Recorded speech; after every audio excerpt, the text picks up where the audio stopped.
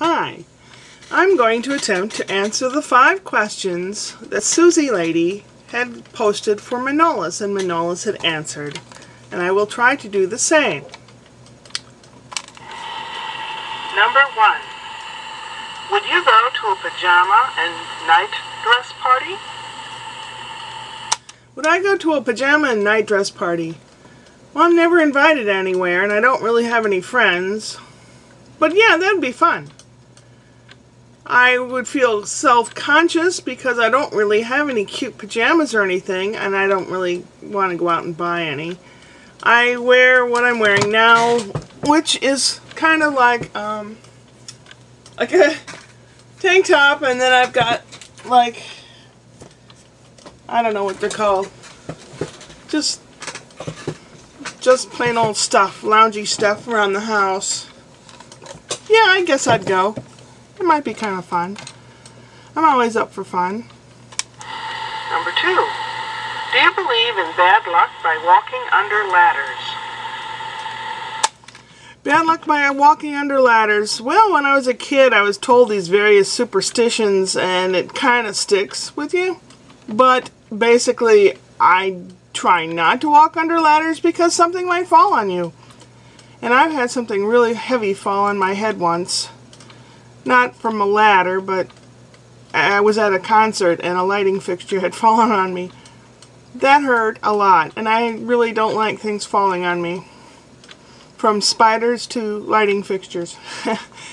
I generally do not walk under ladders, but I don't feel that the world will end if I do. Number three. What would your dream video be that no matter what video you did afterwards would never top it? Well, I don't know because my computery type equipment here is basic and it's crap. And um, I did have a halfway decent uh, laptop, and it died last year. So if I have the money and time to uh, get used to a new system or to buy a new system or whatever, I might start being creative if I can get it in this old brain of mine. I would like to, to do something cool.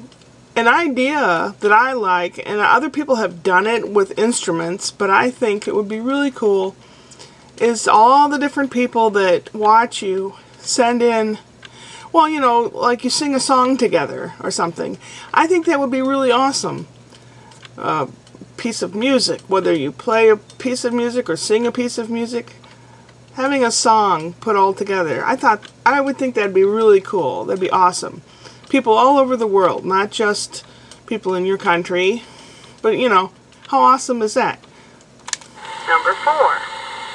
Have there been any changes around your area over the years?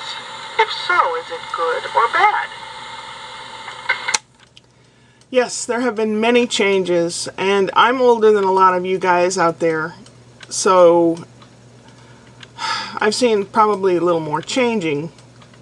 People are sedimentary in their thoughts and behaviors, I think. We don't like change, kinda. When you get used to something, you like, like it to stay that way. This area where I live now, we moved from Iowa to here in 1971. Well, in Iowa, even the town I grew up in was kind of a medium to small town, and it is grown so much, and there's just crap everywhere. It's not for the better, really. And down in here in St. Louis area, the area where I live now is where we moved in 1971.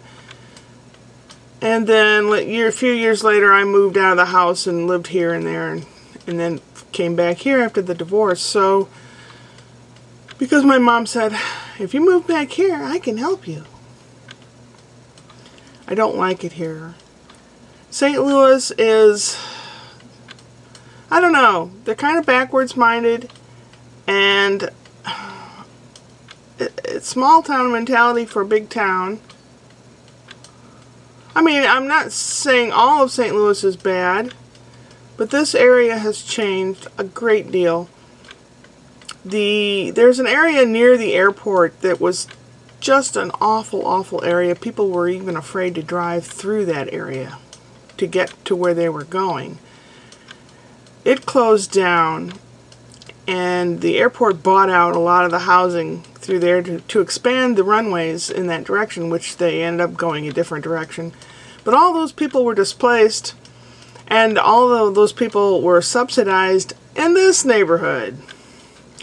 So in the last 10 years, this neighborhood has gotten quite ghetto. And that's not good. We've had meth labs uh, being, uh, uh, what do they call it when the, co the cops go in? I don't know and we've had drugs selling on the streets and broken bottles and just terrible. I really don't like it. And if St. Louis is striving to be number one in murder, murder capital, they're succeeding. I mean, who would have thought? Yeah, the area's changed. yeah, not for the better. And number five. Do you feel that kids get away with far too much these days? Yeah, I do. I, I really do. Now, I I don't believe in beating on your kids or anything like that, but children have no respect. None at all. From the wee little ones to the teenagers, like, respect seems to have disappeared from the dictionary. It's a shame. I'm not saying you have to go, yes ma'am, yes sir. But don't sass your elders. If you don't like what they're saying or don't believe that, that what they're saying has any truth to it, just make a face in your in your head and then walk away. You know, I mean, don't be so belligerent. Yeah, I mean, I agree with Manola. It's like when we were kids, we played out in the street or we played out in the yard or down this block or something. And our parents used to have to stand on the porch and yell for us to come home because we played outside all the time. Kids are stuck inside doing, uh, whether it's because safety reasons or they just choose to play video games all day. And some of these video games are quite violent. And they have these ideals like Grand Theft Auto. My one son was playing that for a while and oh, he'd yell and holler and and he'd throw himself back against the wall and he'd play and the whole house would shake and it's like it's just a game. What are you doing? I mean i don't know. I don't really don't know what's wrong you know and, and, and as you get older you're gonna find things that the younger generation that you don't like about it like maybe their music or maybe their attitudes or whatever but things have changed and not for the better it's a shame it's really a shame. And there's just no respect. No one holds a door open for anyone anymore. It doesn't matter how old you are. And when I hold the door open for people, no one says thank you. You know, it's just society has turned into a bunch of me only. Me first, me only. And I don't like that. That's a shame. It's really, really, really a shame. Where we all could get along and the world could be a better place. It isn't. Snap to it, people. Get real. Life is short. Those are my answers. Upward and onward.